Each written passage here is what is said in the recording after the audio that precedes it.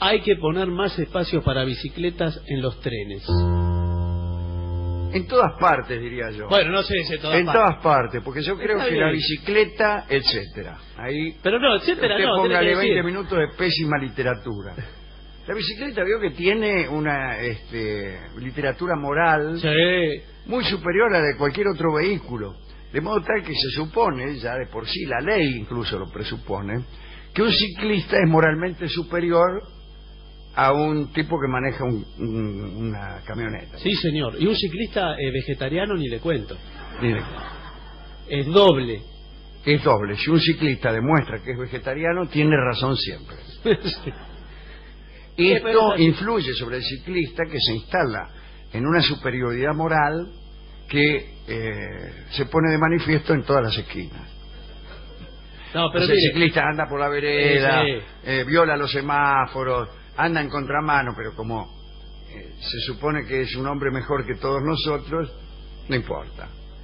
bueno, mire, yo que soy un ciclista amateur Ajá. y que porto la doctrina del ciclismo como estilo de vida, Sí, todo como eso, sí, sí. eh, superioridad moral, todo esto que usted acaba de sí, decir. y además la preservación del planeta. Sí. Figúrese usted. Gracias a mí, El petróleo, la nafta, la contaminación y todo eso eh, no tiene nada que ver con el ciclista. Pero gracias a mí que ando en bicicleta, El- no el- estamos más contaminados de lo que si yo podríamos estar mucho peor si no fuera por el señor. Sí, señor. Bien. Bueno, el caso es que por suerte eh, me hicieron varias bicisendas. Vio que hay por todas partes. Sí, sí, por todas partes, incluso por calles eh, donde no pasa nunca una bicicleta. Uno puede instalarse durante el día y pasan cuatro bicicletas y un espacio vacío y al costado hay un montón de automovilistas que están bailando por un bizcocho. Bueno, yo voy con las bicisendas que se conectan muy bien unas con otras hasta el tren. Y eh, Claro. por ejemplo, voy al, al Delta del Tigre. Quiero estar en dos horas en una isla en el Paraná de las Palmas. Claro, para andar en bicicleta. Bicicleta, llego al tren, la dejo colgando ¿A qué se voy a, a la bicicleta, señor. El lugar del Pero que no hay un lugar, no hay un furgón, no había un furgón antes. Ah, No, ahora hay, una- hay dos Los trenes tenían un furgón que incluso a veces ocupaba un vagón entero. Sí, me acuerdo de eso. Eh, los nuevos trenes, No, no, que tienen aire acondicionado también. Son pero no el furgón para los ciclistas. No, pero tienen en los extremos, en las dos puntas del tren, espacios para colgar las bicicletas. Para colgarlas. Claro, tiene unos ganchos. ¿Dónde la cuelga? ¿En un, en un pasamano o algo Pues así? sí, eh, ¿No corre el riesgo de que la gente se le cuelgue de la bicicleta y eso? o se la desinfle. Sí, bueno. El pasamano que usted eh, que usted señala se discontinúa en ese espacio Ajá. y ahí surgen unos ganchos Unos, unos ganchos para colgar la bici. para colgar la bici. Ajá. Eh, pero no son suficientes porque Ahora, ¿cómo hace usted para ingresar la bicicleta al tren? ¿Es fácil o es imposible como antes? Antes el furgón estaba a la altura más o menos del esternón de una persona.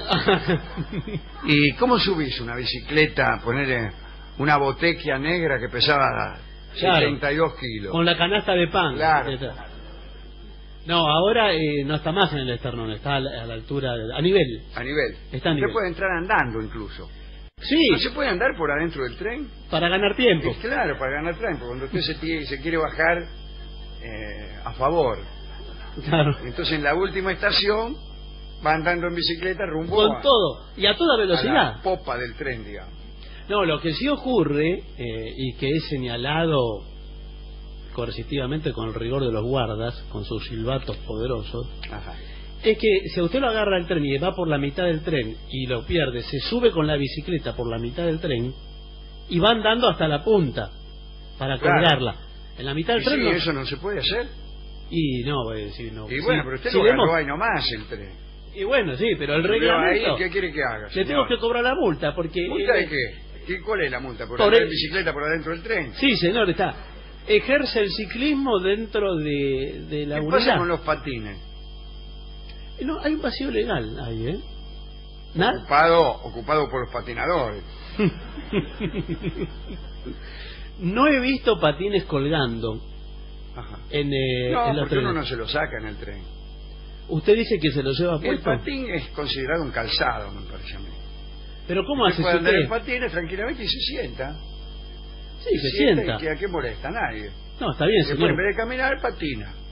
Pero si usted se baja, por ejemplo, en San Telmo, que es todo empedrado, Es muy que- difícil patinar por el empedrado. Eh. Bueno, andar en bicicleta por el empedrado también. también, eh. Cuidado porque hay gente que no lo soporta. Yo no lo soporto porque no sé si a usted le pasa lo mismo que a Ah, mí. sí. No, espere que le digo. Me surge un hormigueo. Sí. Como si tuviera el cuerpo dormido. Sí, un, eh, me- el- mi abuela me decía, eh, Patricio, es la circulación. Ajá. Cada vez que yo le decía, La circulación por el empedrado. Eh, no, algo así le digo, yo le decía, me pica, me pica, me pica. Ajá. Y me decía, Patricio, es la circulación. A mí se me dormía el pie, ¿Cuál? este, Ajá. y no sabía qué hacer hasta que fui al médico y me dijo que hacía bien en no saber qué hacer. ¿Por qué? Pero no es una Que decisión la de ciencia la no tenía ninguna respuesta para eso. Así surgió el malambo. Vio que el malambo es bueno para rascarse los pies. Cuando uno le pica, Sí, sí. Eh, no es que te pica, es que no lo sentís, ¿eh? Ah, Es que no lo sentís. A veces uno se sienta arriba de la mano, Sí. ¿Usted se sienta mucho? eh, sí, me siento arriba de mi mano hasta que se me duerme. Mm. Y después me acaricio. Mm, Y parece que fuera una caricia proveniente de otra persona, Claro. que siempre son mejor recibidas que las propias. Bueno, no deja de ser una escena de amor Sí. propio. Ahora, yo me pregunto, ¿qué pasa con los aviones? Sí. ¿Por qué no tienen Es verdad ¿Por lo qué que no dice. tienen un lugar para las bicicletas? Uno, quiere, uno va en bicicleta a Ezeiza. Y Bueno. subo en el avión, señor, ¿qué? Pero la tiene que despachar por, borde- por bodega, señor. Ah, porque no puede estar en un lugar así. No, mire, la bicicleta para nosotros, eh, ¿cómo le va? Yo soy acá del mostrador ¿Qué de, tal? de aer- de aerolínea. Eh, la bicicleta eh, es valija. Eso. decimos, Claro, pero Bicicleta eh, valija. tiene una forma tan rara la bicicleta que no se puede empaquetar. No, se la, se la embalan. Sí, embalaje. Sí. Pero, no, no, ¿cómo hace para doblar una bicicleta, para envolverla? Envolver un triciclo, decía Castelo. Sí, difícil. es muy difícil. difícil. Bueno, vio que ahora hay unas bicicletas de las urbanas que Sí. se doblan. Sí, se doblan, pero ¿sabés qué pasa? Vos estás, vas andando, me dijo Sí. un muchacho, y se te doblan mientras andás. y dobla. Y te, ¿sabés cómo te caes? Rompes el arma y después al costado ves como una valijita chiquita y es la bicicleta. Con dos huesitos suyos. Pero, no, a mí me dijeron que hay unas ahora que vienen, eh, que son italianas. Ah, sí, todas son italianas. La Bianchi, la Leliano. Y la- las mejores son las italianas. Sí, sí. Hay una francesa también muy buena. La, ¿Será la Hispano-France o la Peugeot? Y la que tiene el auto, sí. Pero deben ser todas. Bueno, las que tienen tradición de ciclismo, eh, sí. Italia y Francia. Bueno, ahí eh, no se le dobla. Digo, involuntariamente, eh, a la bicicleta. Involuntariamente no se le dobla. Usted le- la traba y va derecho, puede ir de acá a Luján. Venden tranquilo. unas bicicletas ahora sin rayos. Ah, sí. Usan, mejor dicho, para, para las carreras. Sí. Una rueda así que parece una rueda de, Del subte. la rueda de, de un juguete. ¿Por qué? ¿Y qué- cuál es la ventaja? No entendí yo eso. No, de- yo tampoco, no Porque a veces tienen eh, eh, la de atrás. ¿Qué tal? Que está, ¿cómo le va? Bien. La de atrás la tiene así entera, como Sí. usted dice, y la de adelante no. La- Claro. La, de adelante es la que todos ¿Cuál es, eh, buenas tardes, ¿cuál es la que la que viene con rayo? ¿La de adelante o la de atrás? Eh, nosotros- yo tenía un negocio al lado de mi casa que eran vendían solo ruedas de atrás. ¿Y cómo se llamaba el negocio? Eh, la de atrás. Bueno, y enfrente había uno que vendía solamente ruedas de adelante. mm, son hermanos, se pelearon. Y se pelearon. Sí. Y se pusieron de acuerdo, bueno, mirá, Melón y Melambe. Ajá. Melón vendía la de, la de adelante Y así. y así.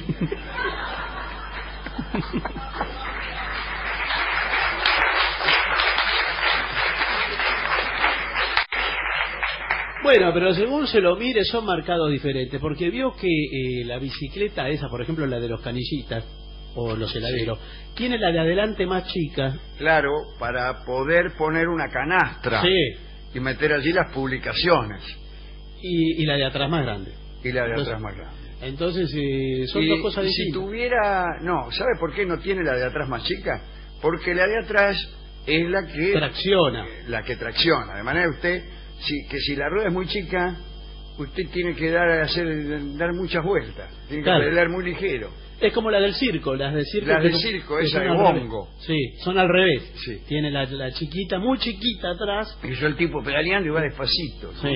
Eh, es una sensación de frustración eso. Eh, bueno, A mí me dijo Rolón que no comprara esas bicicletas y se produce una depresión general. Pero Porque usted uno no- nota que está haciendo esfuerzos gigantescos para resultados lamentables, que es el eslogan de este programa. como el hámster. Sí. Usted queda como un hámster, dando, pedaleando hacia, Bueno, hacia eh, el mismo lugar. En los colectivos, No se puede. no sé, pero sí se puede agarrar uno de atrás Ah, y, gan- y aprovechar, adosarse aprovechar la atracción del colectivo e incluso no pagando eh, el boleto. Bueno, está- no tendría por qué pagarlo uno porque el boleto se paga una vez que usted ingresó a la Sí, unidad. bueno, pero usted está aprovechando el poder de tracción de esta unidad. Bueno, está bien, Y pero no en detrimento de de la algún misma. modo usted tendría que colaborar con los combustibles que, posili- que posibilitan esa tracción, señor mío. Bueno, mire, también allí hay un vacío legal igual que el de los patines. No es un vacío legal, está rigurosamente prohibido agarrarse de, de los camiones y de los colectivos, Pero no sé si usted se fijó, porque este es un tema que los medios están omitiendo. como tantos. Que los colectivos ya vienen sin manija para agarrarse. No pa- tiene, eso Para el ciclista. Es falta de sensibilidad. Bueno, no, no sé qué. Para el ciclista, sabi- más sabiendo eh, la clase de hombres superiores que se dedican al ciclismo. Porque antes vio que tenía la, eh, esas dos manijas que... eh, Nunca vi esas dos manijas. Sí, siempre las tenían por eh, la ventanilla. Mire que yo era muy observador de los colectivos.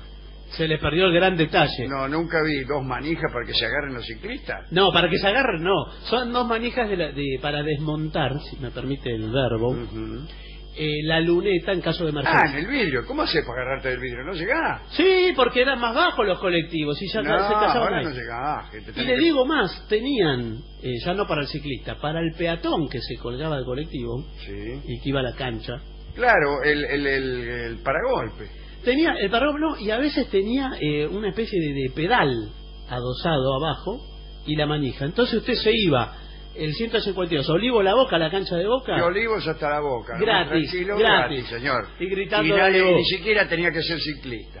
sí, no.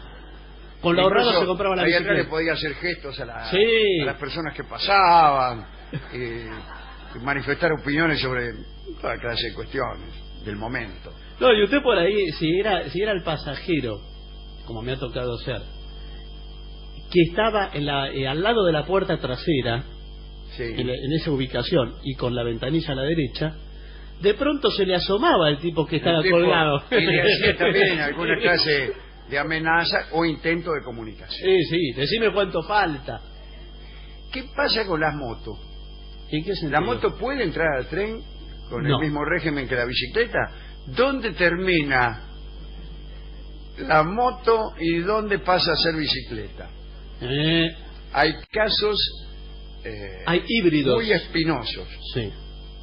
Eh, bueno, están las ahora las estas ciclomotos que son eh, el híbrido que usted pedalea o le prende el motor. Entonces, yo me subo al tren y digo, yo voy, voy pedaleando, señor. Mire, es muy fácil de resolver. Si usted la puede dejar colgando, Sí. es bicicleta. Todo puede dejar colgando. Yo he visto colgando camioncitos. no, en los ganchos que no- eh, los que disponemos nosotros de ferrocarriles argentinos, yo soy de ferrocarriles argentinos. Claro, ¿Cómo le va? Eh, soy el mismo del de aerolíneas de Sí. Me van pasando. Eh, si usted lo puede colgar acá, Aproveche. eh, si la puede colgar acá, eh, yo lo considero bicicleta, voy a mirar para otro lado. Ah, sí. Ahora, si no la puede colgar, se va a tener que bajar de la unidad. Eh, y buenas noches los pastores, como dicen en, en Chile.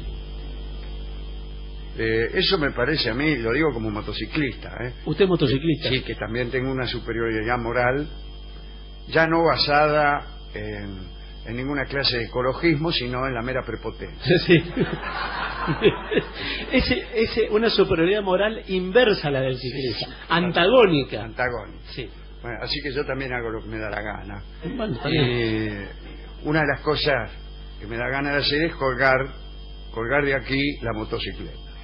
Bueno, está bien. En, en general usted, con su carácter de motociclista, Sí, ¿qué tal? eh, la cuelga de prepo o la mete de. Exactamente. Yo vengo siempre eh, junto con los Ángeles de la Muerte, Sí.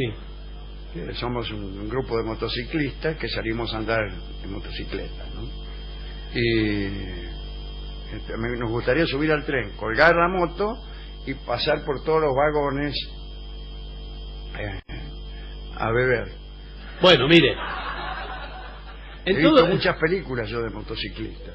Está bien, señor. En, en todo su parlamento, lo que acaba de decir, eh, tiene casi cinco contravenciones y violaciones a las reglas. Ajá. Eh, yo le doy aviso de esa situación. Usted tome la decisión que quiera. Ahora, eh, tanto el motociclista como el ciclista, ¿deben tener boleto? ¿O Sí. se considera que no? No, señor, Por ¿cómo alguna que- razón que no se me ocurre.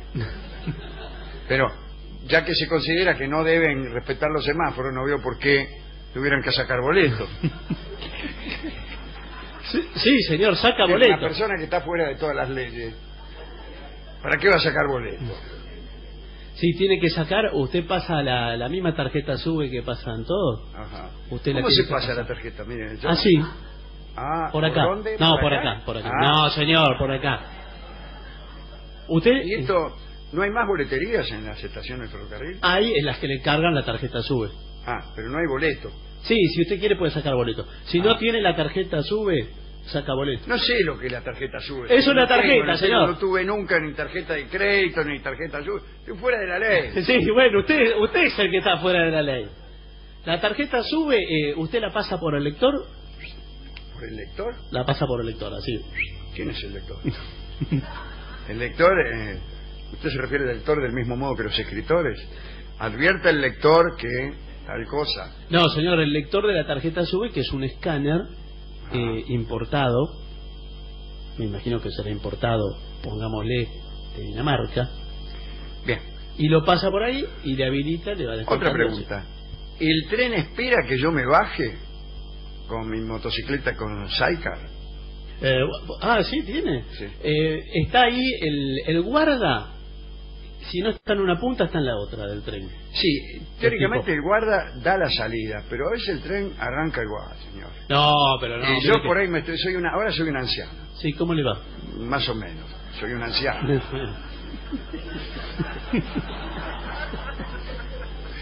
Eh, Hay una señora que se puso a llorar en la sala. eh, el guarda no espera que yo termine de bajar ni subir. Es muy raro que yo pueda bajar en la estación donde vivo. Siempre me bajo en otras. Pero, pero señora, usted prepárese antes para Yo me bajar. preparo antes, pero estoy todavía no llegué ni a la puerta y el tren ya arrancó. Así que me bajo más o menos donde puedo. Pero usted dónde vive, por ejemplo? Yo vivo, por ejemplo, en Acasuso. Sí. Eh, bueno, usted ya se tiene que ir parando, por ejemplo, si viene de retiro, en Olivo ya se va, se, se pone de pie. Ajá. Y entonces espera eh, que no viene. estoy sentada. Bueno, con más razón, en Olivo ya se acerca, después le viene la Lucila Martínez a Casuso. Tiene Acasuso. eh, tres estaciones. Y ya se va arrimando. yo no me las puedo aprender. Eh, bueno, pero le sabe, y el guarda me dice, bueno, apréndasela. Y le digo, ¿por qué no hay como en el sute un alcahuete que te dice, próxima estación, tal? Pero hay, ahora hay. Ay, pero está mal, porque a veces se prestan las estaci- los coches de otras líneas. Ay, le dice. Y, y te dice, próxima estación, el Palomar. Y vos acabás de pasar por Martínez. Y se producen muchas confusiones, ¿eh? Eh, bueno, Más señora. en señoras como yo. Claro, usted tuvo mala suerte. Yo eh, eh, no tengo noticias de que eso ocurra. Sí, a veces ocurre que está mal programado el. Sí, está mal todo. Eh, No, está mal todo, no, señor. Lo ponen al revés el vagón y entonces te las va cantando en el sentido inverso a que van apareciendo. Te las canta al revés, entonces vos tenés que calcular. Y para leer los carteles de la estación cuando llega, Ah. porque llega muy rápido el tren. Entonces me da reconsulto. No, y a veces eh, la señora se ve mejor agachada. Sí, ¿Pero? sí. ¿Qué? Pero este tren viene muy lleno, etcétera. Eh, Bueno, pero si usted se agacha, a, ve- a veces veo que le tapa, eh, Sí. como, como el subte que está mal Y bueno, en el diseñado. colectivo también hay que agacharse Sí. así. Usted ve para ver qué estación Claro. está, por dónde está. Se agacha un poco y mira. Eso le pasó No le puede decir a uno que ya está agachado que le mire. ¿Cómo le va a decir a otro pasajero? Claro, ¿por dónde vamos? Le dice al tipo que está agachado. ¿Y por qué le tengo que decir yo? No estoy... Eh, para no agacharme. Y además no estoy agachado. Ah,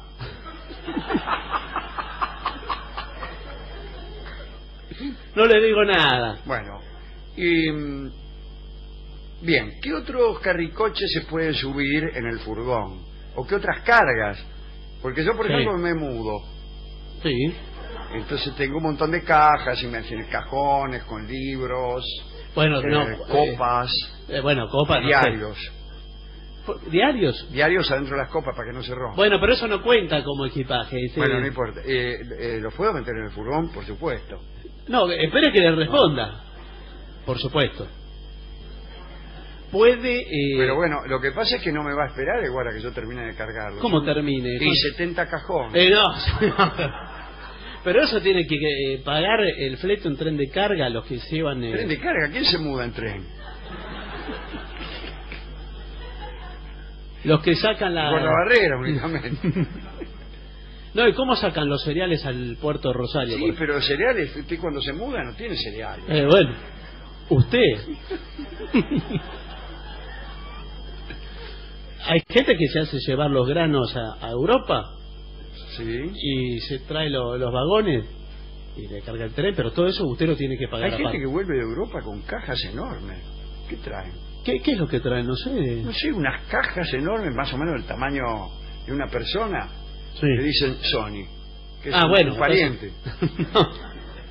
Traerán los televisores, de violos de, de ¿No usted. se puede o sí se puede? Si usted paga el impuesto, sí, Ah, puede. ¿sí? Y sí, en la aduana paga y le dicen, usted tiene que pagar X cantidad de dinero. Bueno, ¿qué le parece si vemos qué es lo que opinan nuestros oyentes acerca de este tema tan espinoso, ¿no? Sí. De, del tren y la bicicleta. Bueno, hay mensajes que llegaron al Facebook de La Venganza Será Terrible, sitio oficial, así se llama. Y, mm, pero no sé si hablan de este tema o de algún otro. Veámoslo aquí. Vamos a ver. Dice Cochica Martínez. Sí. Hablando de baile, muy buena la historia del vals del otro día. ¿eh? Y nada más. ¿Te gustó la historia del vals? Bueno. Aquí Joaquín Iturbe dice, saludos desde Chanear Ladeado, pueblo de 6.000 habitantes al sur de Sí. Santa Fe. Sí, sí, claro.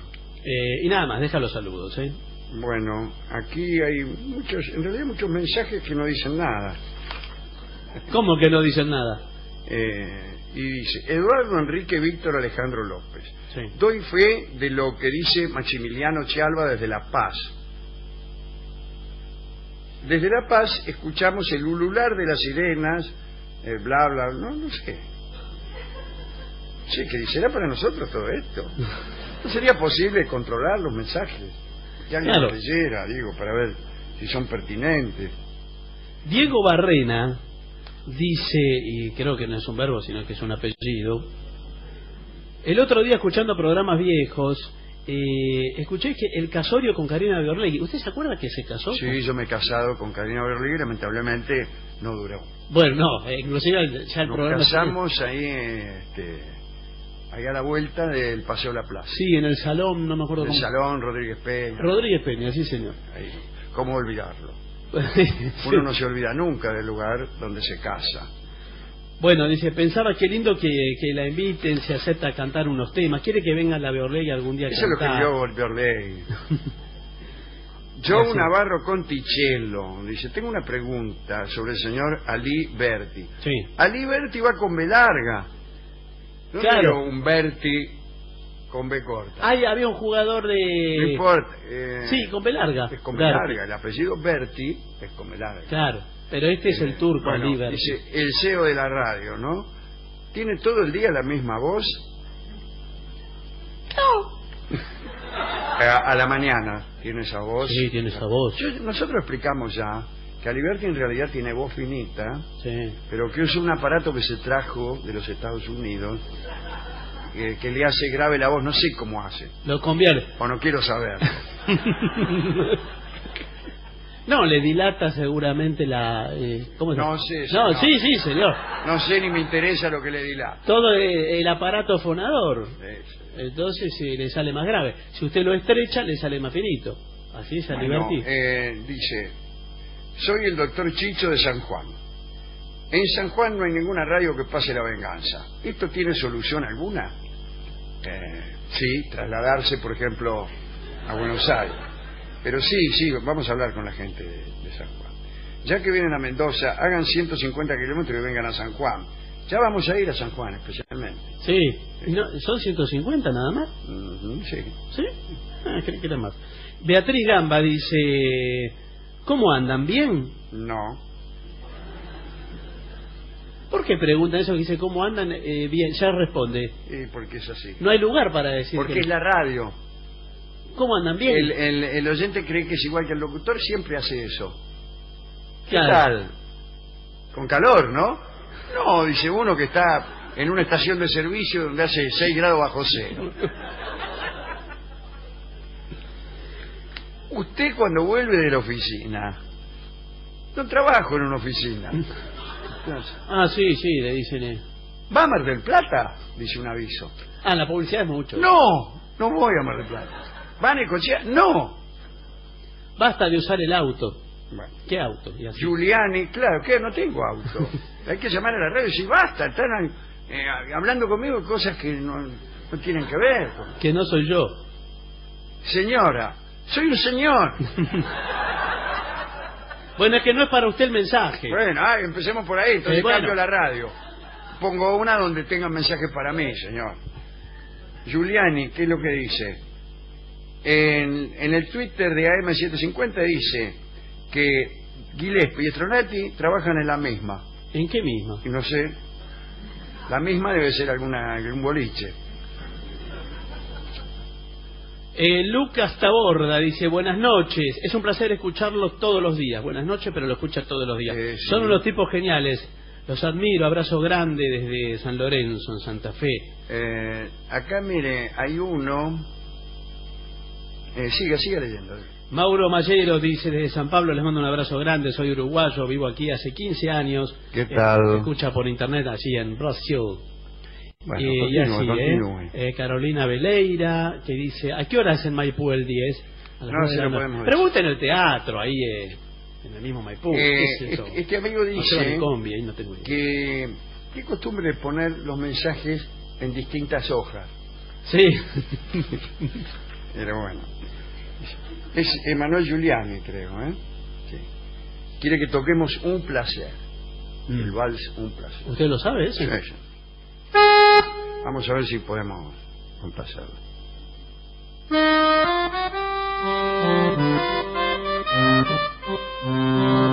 Vamos, vamos a, a, tocarlo un poquito más eh. Vamos.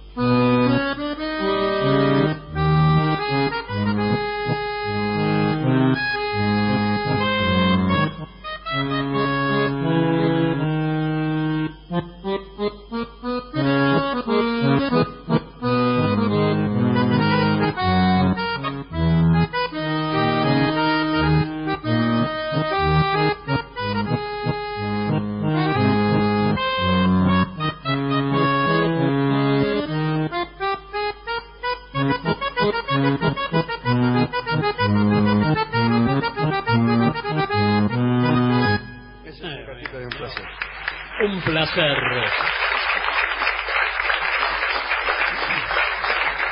No tengo más mensajes, ¿eh? Yo le digo, mire, Cecilia Cumpián dice, hola muchachos, si tuvieran que elegir un alimento para comer el resto de sus días, Me, me mataría. ¿cuál sería? ¿Por Si usted come tres cosas, si, Si come tuviera tres que cosas, elegir, si tuviera que llevar a alguien a una isla desierta, no llevaría a nadie, porque qué tipo cruel. A la persona que más amás la vas a llevar a una isla desierta con vos. A nadie, señor, me voy solo y me la aguanto. Esas preguntas, si tuviera que, no, te- están prohibidas en este programa. Bueno, ahora, ahora, ahora va a entender el mensaje. Postulo a Marley como tercer integrante, dice Ajá. Cecilia, y así. Eh, Uy, mira aquí. No duraríamos mucho nosotros. Sebastián Rodríguez dice, hace poco le compré una cámara de fotos, me compré, Sí. y estoy aprendiendo, dice, ¿Aprendiendo a qué? y a usarla, Ah. debe ser. Eh, creo que si la llevo encima puedo colarme en los casorios y comer de ojo. Porque los fotógrafos van y chupan de ojo, efectivamente. Sí, sí, vio el fotógrafo de Sí, casamiento. pero cuidado que ahora el fotógrafo de casamiento prácticamente es un realizador, un realizador cinematográfico, Sí. como Campanella. Hay, hay tipos que se casan, tienen mucha plata, se casan, y lo contratan a Campanella eh, para que haga el video. Para que haga el video. El video, entonces el tal. El video que se lo pasan incluso en el mismo casamiento. Lo editan ahí mismo. Porque que el casamiento dura tanto. El casamiento dura más que el matrimonio, ¿eh? Hay mucho tiempo de editar la película, hacen... eh, Sí, Ben Hur se ya hizo en un son las 7 casamiento. de la mañana, están todos los, los- eh, la gente ahí, Sí. descompuesta, etcétera. Y dice, ahora vamos a pasar el, el video. Y aparecen los amigos del novio. Eh, que nosotros... eh, eh". Cuando empezó la fiesta que eran jóvenes todos los amigos. Claro. Y, y bueno, y todo así. Bueno, pero eso eh, además tiene que competir el, el socialero, le dicen al fotógrafo de, de eventos. ¿El qué? El socialero. Es como socialista. Eh, Es- que la diferencia entre socialero y socialista es la misma que entre guitarrero y guitarrista. es un socialista que toca de oído, o, que ha, como tantos. o que ha convertido su socialismo en un emprendimiento capitalista, como es el socialero. como es fatal. Bien, bueno, pero ese compite con los celulares de todos los invitados. Mire, si hace, vio que ahora a todos le sacan fotos, hacen videos. Sí. Y el tipo compite con ello. Yo como fotógrafo tengo que quejarme Sí. porque ahora todo el mundo tiene su cámara. ¿Y de qué vivimos nosotros? Bueno, pero... eh, Estamos en el mismo problema que los carameleros de los cines. ¿Por qué? ¿Cuál es el No problema? tenemos trabajo. Bueno, señor... Queremos que el Estado nos garantice eh, los puestos de trabajo. No, pero mire, Tanto no- a los fotógrafos de casamiento como a los carameleros. pero no podemos ir contra la tecnología y los celulares de la gente que. Bueno, que le- pero sí pueden eh, subsidiarnos. Gracias. No, bueno, no, no. ¿De cuánto sería un subsidio? Porque todos los socialistas... No me interesa, eh, lo, eh, la acción es lo que vale. Bueno, sí, la acción, pero eh, quizás aplicando, estoy, eh, hago una propuesta, Sí. aplicando un impuesto a los celulares que tienen cámara de fotos, Sí, señor. le va a Con lo que hay, ahí está. Se recauda Nos lo agarramos todos nosotros, menos un poco que se los damos a los fotógrafos. y así todo. Y ya que estamos, Sí. Aquellos celulares que traen radio, bueno, A otro, los- otro impuesto y ya Y saben a para los viene. ciclistas también. Y los ciclistas, yo que soy ciclista, también. Bueno.